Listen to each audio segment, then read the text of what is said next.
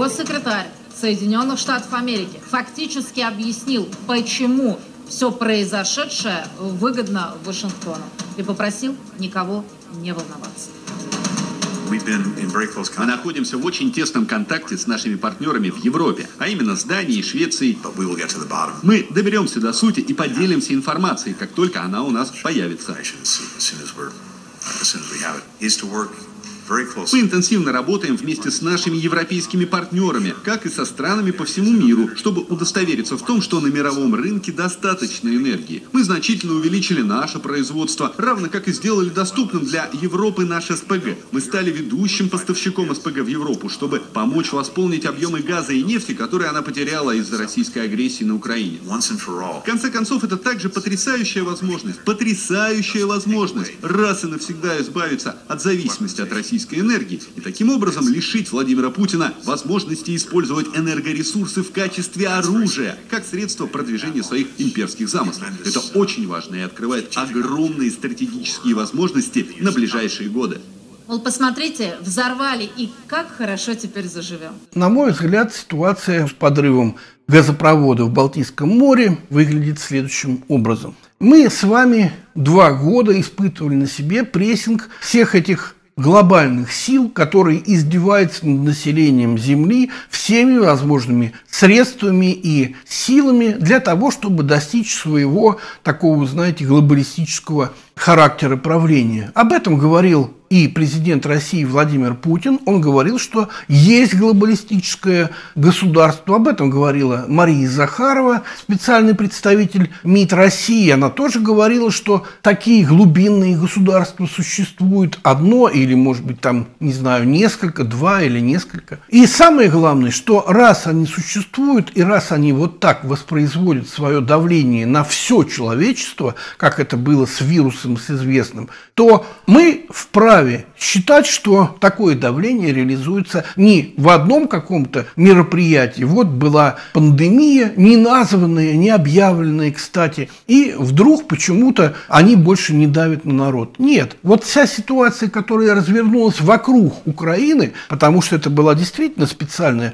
операция, которая сначала по первости своей имела задачу защитить русское население в республиках Донбасса. А потом вы все это видели, как набежали со всех стран те люди, которые подчиняются тому самому глубинному государству. И эти люди уже начали эскалацию большой войны и уже практически довели ситуацию до Третьей мировой войны. Вы посмотрите, последнюю неделю перед этим газопроводом фактически с новостей не слазила одна единственная тема. Кто первый и когда именно нанесет ядерные удары, что за этим последует. То есть именно ядерный удар и тема ядерного удара стала основной, на которой все сосредоточились. И если бы не произошла вот эта авария, то не знаю, к чему бы вышла наша сегодняшняя популяция вот в этом столкновении, связанном теперь уже с Украиной. Что в результате произошло за пределами этой специальной операции? Должно было бы просто ограничиться полицейскими мерами, специальными мерами, и ничего там особенного, как говорится, за предел никуда бы не расползлось. Нет, однако американцы и некоторые европейские страны, они подлили масло в огонь и решили, что им нужно обязательно стать на одну из сторон. Самое главное, что они в этом своем становлении, они подставили свои народы. Но я уже много раз говорил, что это не их народы, потому что ставленники, которые возглавляют эти народы, все из одного и того же государства, я повторять это не буду. Но самое главное, что в итоге пришла ситуация такая, что сейчас начинается октябрь, и в октябре получилась такая штука, что на Украине неразрешенный конфликт никак не могут решить, как это все закончить. Никто, я имею в виду Зеленского и Европу, не хочет идти на, ни на какие переговоры, тому же всю Европу запланили руководящие работники в виде женщин, которые недоговороспособные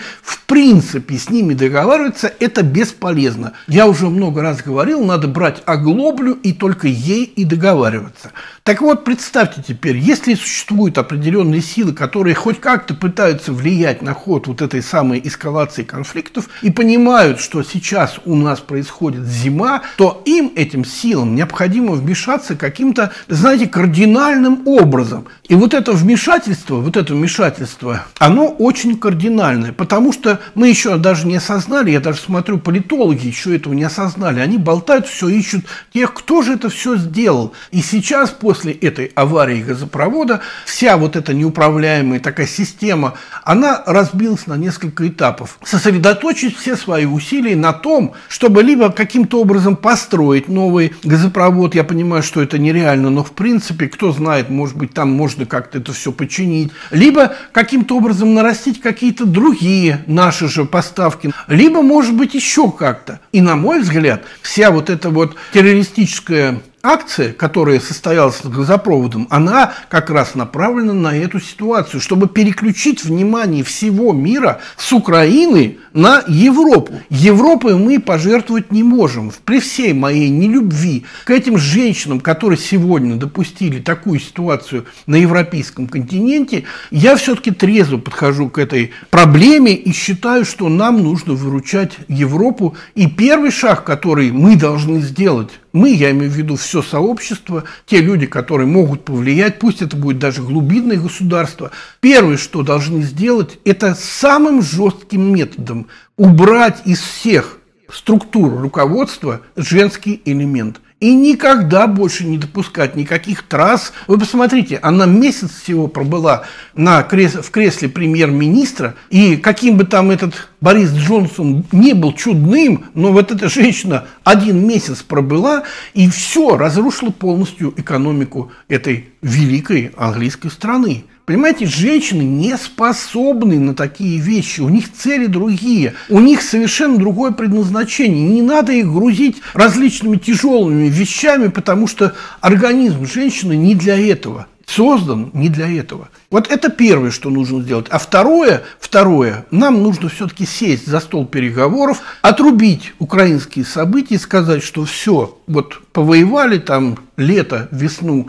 забыли об этом, давайте все-таки каким-то образом Европу спасать, но при условии, что там больше в руководстве не будет ни теток, ни ближневосточных дядек, и что все народы, которые существуют и находятся в Европе, они будут проводить только свою политику и больше не будут подчиняться никаким магистрам и различным наставленникам, которые могли бы или приезжают к ним из других структур, в том числе из Израиля, из США, но и из других необрезанных стран.